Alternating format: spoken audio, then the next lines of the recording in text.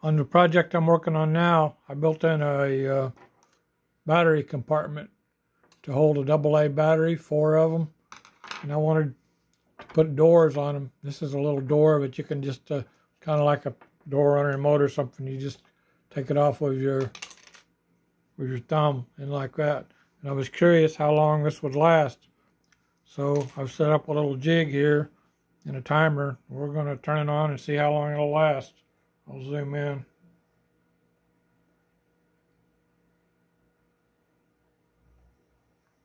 And I'll start it up and start the timer.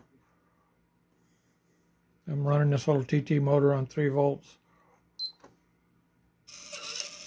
And we'll see how long it lasts.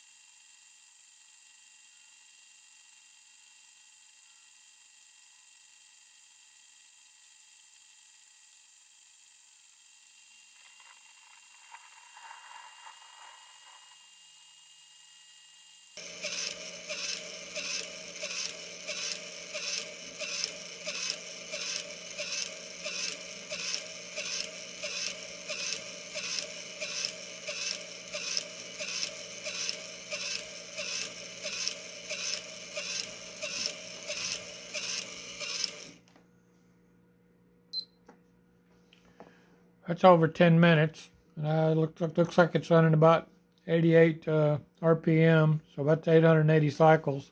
So I don't think there's any problem with it uh, breaking in normal usage for what I'm using it for.